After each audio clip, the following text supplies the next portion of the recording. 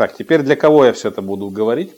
Теперь я все это дело буду говорить для тех, кто включает мозги. Таких людей много, и такие люди, естественно, есть, и у таких людей, естественно, есть компьютер, и такие люди начинают понимать, что в действительности проще и реальнее заказать все, используя компьютер, естественно.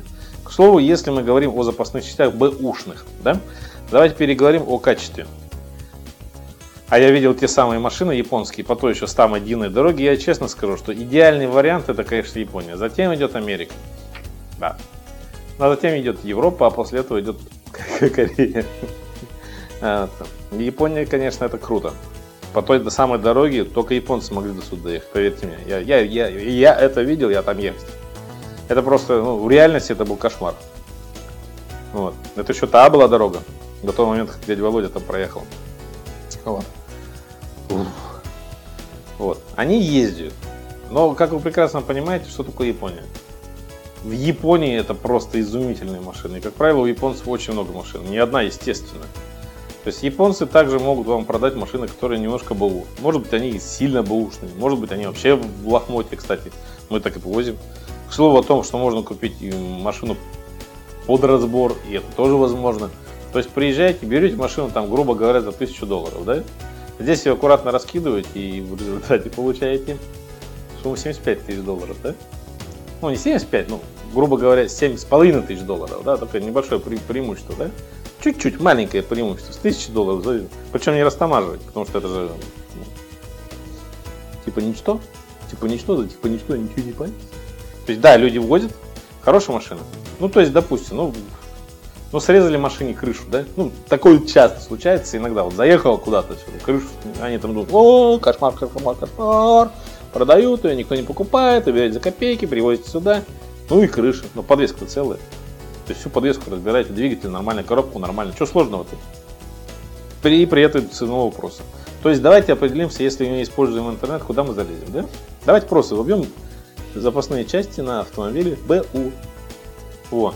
А запасные части на автомобиле БУ. К слову о том, есть ли у нас кризис. Кризиса у нас по сути не существует, потому что ну, Магнитогорск ну, такой весьма интересный город количество Мерседес увеличилось. Но у нас народ немножко тупой. Я, я, я просто объясняю, господа. А, есть количество людей, у которых с кукушкой все сложно. То есть они покупают себе Феррари. Ну, значит, у вас с деньгами все в порядке. Вот.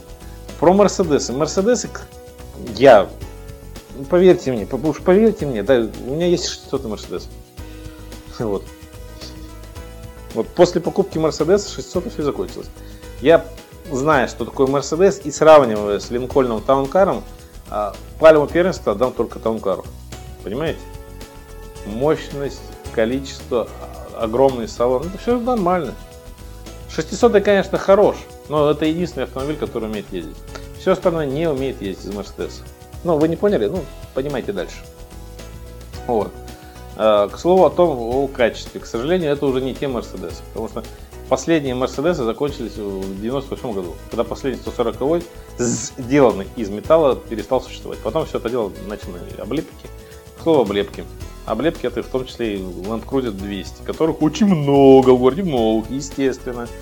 А стоимость этого автомобиля 4,5 миллиона. Ну, у нас все, у нас все сложно, у нас все сложно. То есть народ начинает понимать, и поэтому перестает работать с телевидением. Типа у, у них же нет денег. То есть, да я говорю, ребят, ну, не в том проблема, что у вас нет денег. Просто люди как бы кредиты, стандартные кредиты, как у всех, везде и всюду. Вот. Они перекредитовываются, дальше залазят.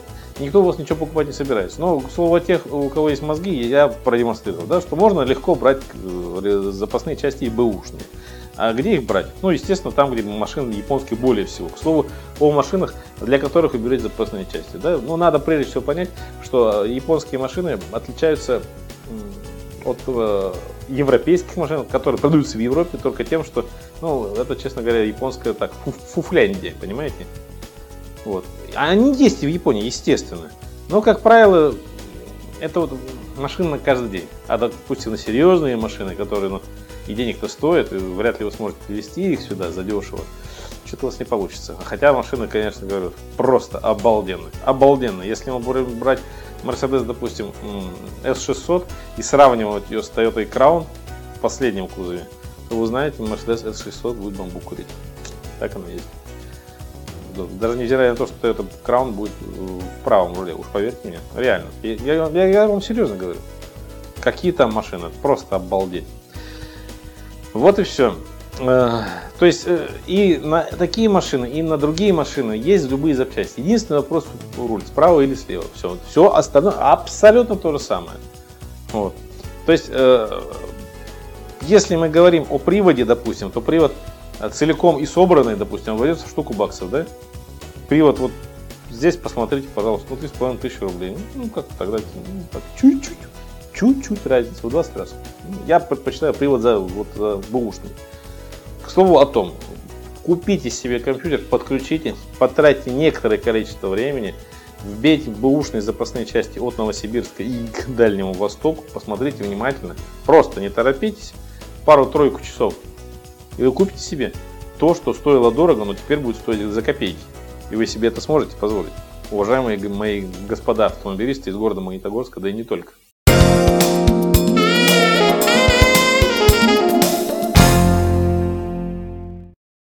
Умом Россию не понять, аршином хрень такую не померить. Простите, померить и впечатлить мы можем. Потому что камера есть. У нас вообще с разметкой как-то туго. Мало того, у нас разметку и не соблюдают. То бишь, вот вам правило простое. Вот это то самое место, которое мне очень нравится, да? Ни знаков, ни разметки. Замечательное место. Э, проспект космонавтов, вот вы, да, и вот на казачью переправу, улица Магнитная. За моей спиной, обратите сейчас просто внимание, да? Две полосы, две полосы, да? Никаких направляющих движений нету, не существует, правильно, да? То бишь, э, что вы поняли, да? Сейчас сюда приедут люди с шоссе космонавтов, которые захотят поехать в город. То бишь, по сути событий, да? С левой полосы вы можете ехать прямо и налево правой полосы ехать прямо и направо. М? Нормальное явление? По-моему, тоже хорошее явление.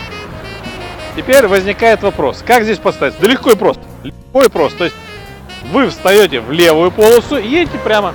Ну, допустим, вот шиномонтаж или на сервис. А затем уже с правой полосы вас влево вас въезжают.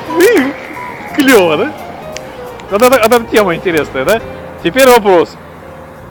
Если ты едешь справа, ты же не имеешь права повернуть налево. Нет уж распределения полос, правильно? О, сейчас, сейчас все это дело и начнется. За моей спиной, вот видите, все, все поворачивают справа. Справа. Ух, красота. Ух, красота. Сейчас, подождите. Сейчас вот, вот еще вот эта хрень туда заедет. Спра... Господа, вот ваше место. Все те, кто могут свою машину отремонтировать. М? Нормально, приезжайте делайте. Место для подстав очевидное есть. Нету никакой разметки. Правило простое. Слева едем прямо и получаем удар в правый бок. Быстро-быстро ремонтируемся. Можно прямо за сутки это сделать. И через месяц покупаем новый автомобиль. То бишь сумма 15 тысяч за удар. Однозначно и 450 тысяч рублей в месяц зарабатываются легко. Или в конце концов, нанесите нормальную разметку, а? Слева только налево, справа и налево, и прямо, и направо. Что в этом сложного, то? Ну и естественный знак направления движений. Ау! Дураки вы наши и дороги.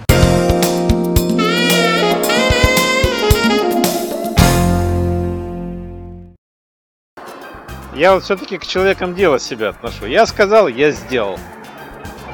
Представляете, да? В свое время мы так и говорили с господином Давыдовым. Когда он меня попросил, отдал я ему все деньги. Я ему все деньги, естественно, отдал. Только вот он поступил неправильно.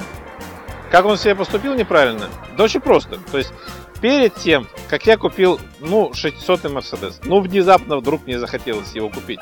Цена была небольшая, в принципе, и для того времени, ну, это можно было себе позволить. То есть перед тем, как я купил у него эту машину, мы с ним беседовали об одной прекрасной теме. То есть я ему объяснял ситуацию, что в принципе мне ваша машина как бы нахрен бы и не пернулась. Ну, чтобы понятно было. принципе, я могу у вас эту машину купить. Давайте я сейчас возьму деньги в кредит, а потом мы с вами рассчитаемся. То есть работа была достаточно простая, по сути событий. Я ему делаю замечательную рекламную кампанию, и он получает замечательный эффект и результат. В принципе, мы даже договор с ним заключили. Если хотите, я вам этот договор могу продемонстрировать. Что же случилось далее? Один месяц он поработал и свалил. То бишь, по сути событий, я ему взял кредит и взял те деньги. Так вот, событие следующее. Никогда больше с такими вещами не разговаривайте. Никогда больше под это дело не подписывайтесь. Это Россия, это мудаки, конченые. Потому что вот такая штука может и случиться. Вы подписались, вы отдали, а потом начинаете расхлебывать, как это делал я. Да, это было круто. Так вот, что бы я вам хотел сказать. Если вы решили купить себе хорошую машину, есть вариант такой. Может быть, взять все-таки машину немножко БУ и сделать ее, чем покупать сразу новую. Так-то все было нормально. Так-то и договор подписан был, ну и понятен результат. И чтобы вы поняли, был изумительный таункар. Не было дебильного платежа за машину. Можно было купить 600-го. Под договор, естественно. Мало того, когда я снимал этот материал, божился ведь Крендель на свои слова, что он человек дела. Человек дела закончил удовольствие сразу после такого материала. Говно ты, а не человек. Теперь другой вариант. Не рекомендую вам. Но если денег нет у вашего покупателя, то вы заключаете договор права собственности. То есть он у вас занимает деньги на определенный срок – и в случае неоплаты за месяц в определенную дату и только тогда вы забираете сразу весь автомобиль. Просто пишите доверенность без генеральной доверенности. Понятно? При этом, если что-то с автомобилем случится, то человек, занявший у вас деньги, обязуется полностью оплатить ремонт с вашими ценами. Вот это будет правило. А так верить на слово и такому кренделю, как Давыдов, нельзя как вы прекрасно понимаете, человек меня подсадил. Но не на те 600 тысяч, которые я в действительности ему заплатил, а сумма была гораздо больше. То есть, ну, это был вообще кошмар. То есть, когда мы с ним договаривались, я еще понял, так, за два года, ну, примерный вариант вопроса, там, по 30 тысяч в месяц, худо-бедно, я чуть-чуть переплачу. Чуть-чуть, ну, это 150 тысяч. Но в итоге я на эти деньги и попал. То есть, я брал бабки, ну, вот, и попал в действительность на проценты. Космические проценты. То есть, если вы говорите о чем-то, самый грамотный вопрос эти деньги получить сразу, понимаете? А не так, как я. Я понадеялся на него. Но человек швырнул. Вот такая ситуация возникла. Никогда больше. Если кто-то вам говорит, что в оконцовке будет абсолютная и финансовая ляпота, говорите, ляпота может быть, только бабки давайте вперед. А иначе получится, как с вот этим вот лжецом Давыдовым.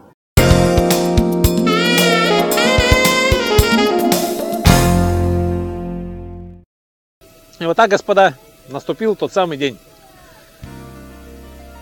15 лет назад, в октябре месяце, нам дали телевизионный канал под ЧГТРК. Ну, потому что там были проблемки с МГТРК, они как-то так... Вот, и нам дали свой замечательный канал. Туда привели телеканал Югра. А, клево. Магнитогорск должен знать, что делается в... Ново... Где? На севере, да. Совсем далеко. Телеканал Югра. Представляете, да? Вот. И кое-кто, естественно, туда и слинял. И вот 15 лет назад я включил эту дивную сюжеты свои начал снимать. Сегодня и сейчас, в принципе, все в том же количестве. Понимаете, да? Ничего не изменилось. Ничего не изменилось. Конечно, мне бы хотелось сказать, что я только один работаю. Нет, я не один работаю. За моей спиной мой дядя. Передо мной э, мой брат Иван. Они держат камеру. Еще Мою камеру держит и моя супруга. Кроме всего прочего, и Максим Смирнов мою камеру держит. Кроме всего прочего, приезжает еще и Родион Сагдеев. То есть, ребятки, я не один, я не один. А, большая часть работы, большая часть работы, естественно, на мне. Но я же не могу, допустим, себя снимать. Нет, не могу. И поэтому я приглашаю хороших операторов. В свое время еще два оператора были, исключительные, это просто были супер два кренделя. Один э, Гиммерерт Валерий Юрьевич. К сожалению, он умер от рака. Другой, Юра Пырявин. К сожалению, он тоже умер от рака. То есть, ну, надо понимать, да, что раком страдаем мы в том числе. И я вот, посмотрите внимательно, да? Глиобластома. Ух, жесть какая-то. Я с ней стараюсь бороться. Я думаю, что мы с ней поборемся. Потому что, ну, время-то идет. Время-то другое. И вот сегодня, сейчас мы пришли в определенное место, куда я вас всех приглашал, но вы же не хотите с нами дружить, да и ладно. И здесь мы устроили замечательный шашлык. Исключительный шашлык. Вкуснейший шашлык. Я даже сейчас еще ну, часть шашлыка скушаю. К сожалению, вы, пожалуй, единственный человек, который работает с программой автостоп. Ну, не, мы ранее тоже показываем кое-какие другие люди. Просто объясните события. Вот почему вы работаете с программой автостоп? Просто так. Ну, работать на телевидении всегда, я думаю, интересно. Светиться в голубом ящике, это тоже, я думаю, неплохо. Какая-никакая узнаваемость приходит. О, узнаваемость. Я людям сейчас объясняю, говорю, господа, главное, что вас узнавали. Это же хорошо. И по сути, как бы, ну, прекрасно вы понимаете, что теми делами, которыми вы занимаетесь, это не так часто я к вам обращаюсь, машины там подкрасить, 5 10 То есть мы продолжаем работать. И, в принципе, все не так уж и дорого стоит, по сути. Ну да, я думаю, сегодня про цены это не наши не будем говорить. Сегодня все-таки другой праздник. Да, праздник хороший. Еще снег не выпал, день жестянщика не настал. Ну, скоро ждем. А, скоро ждем. ждем. Да, вот скоро э, мы приедем к Паше и покажем в очередной раз, где вы можете сделать дешево и вкусно. Понимаете? Мы будем с ним дружить, я думаю, бесконечно. Как оно? Я прекрасно понимаю, что ваш опыт э, начался еще когда кино-то было. Ну, когда еще камеры были, два, 16 на 2. Вот тогда мы и снимали, да? И тогда ты меня научил, как ты делом ты снимать. Тогда эти камеры были. Сейчас более современные камеры. Э, снимается легче, разные объективы меняются. Круто, в общем-то, да? Ну да, круто. И так хорошо, да, когда на пенсии можно потом еще поработать, оказывается, правильно? Помочь просто. Вот оно, Миско, вот оно, Миско. Для тех, кто любит программу «Автостоп». Почему вас тут нет? Ну, я не знаю. Я вас всех приглашал. Кроме всего прочего, надо подумать о следующем, да? Кроме всего прочего, э, а вы так вот подумайте, господа, сколько человек может вести одну автомобильную передачу? Ну, сколько человек может ее вести, а? А я подал заявление в книгу рекордов Гиннесса. Я, конечно, все прекрасно понимаю. Топ Гир крут, но Топ Гир не прошел тот период времени. То есть Топ Гир в том составе, в котором он пришел, он пришел позже того, как я начал программу Автостоп. А что, не знали, что ли? Нет, не знали. Потому что э, программа Автостоп это, по сути, ремейк Топ Гира. Но ремейк Топ Гира другого, который был в 2000... с 95 -го года, когда я смотрел его, понимаете? И там люди показывали абсолютно нормальные машины, абсолютно нормальные недорогие машины. И показывали результат. Что сейчас? Мне, конечно, нравится Топ Гир. Ну, я всем задаю вопрос. Вы когда-нибудь сможете себе купить машину стоимостью в полтора миллиона долларов? Алло, вы сможете? Я нет. Я нет. Я, я, я, я никогда в жизни. То есть зачем об этом вообще рассказывать? Есть же другие автомобили, красивые, крутые.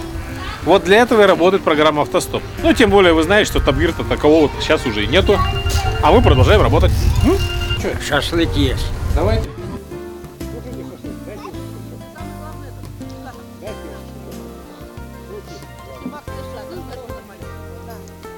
Конечно, все нормально. Вкусный шашлык. Очень вкусный шашлык.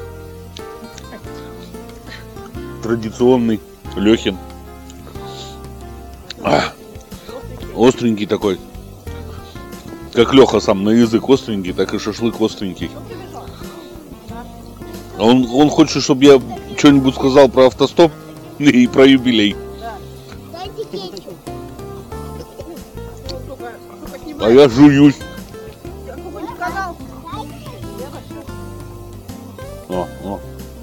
Дети, кетчуп с этим шашлыком не надо есть. Надо натуральный продукт употреблять. Вот. Такой же натуральный, как наш автостоп, да, Леха? Вот. Сына, кушай мясо. Пить, дайте ему пить, водичка стоит рядом. М. Мы, правда, немножко запоздали, шашлык остыл уже. Но все равно вкусный до безумия. Вот. Так что нас с вами с 15-летием автостопа. Вот. Дай бог еще 18 раз по стока. Ну и чтобы каждый раз, каждый хотя бы пятилетку отмечать вот этим.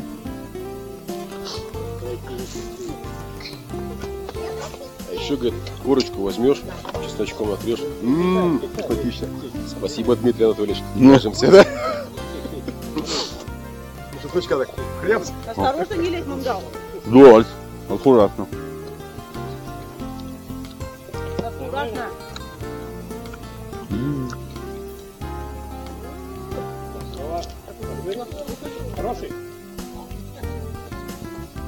Некогда ему. Некогда. Хороший, но острый шашлык. М. Ну это хорошо, что острый. Вот. Особенно осенью. И в такое уже прохладное время года. Вот. Самое то. Давай, шашлычок. Вот, вот клево, да? А мы держимся. Спасибо, господа. Мы держимся. К сожалению, нам приходится держаться. По одной простой причине. Ну, денег у нас пока, по сути-то, и нету. Ну, к слову событий. Всеми- картошки полно. Э, Картошки полно, правильное решение. Картошки полно, да. Мы прорвемся, естественно, прорвемся, будем питаться. Ну ладно, еще шашлык есть. Кстати, недорогой. Вот. Что касаемо денег. Ну, нету денег. Ну, рано или поздно мы вам прекрасно понимаем то, что мы, собственно говоря, вам, магнитогорцам, эту, подар... эту программу ударим. Потому что, ну, я вам сейчас объясню, но вы подумайте. Стоимость такой программы в другом эквиваленте в центральном телевидении стоит 25 тысяч и отнюдь не рублей. Одна программа. Так что, господа, мы для вас и работаем.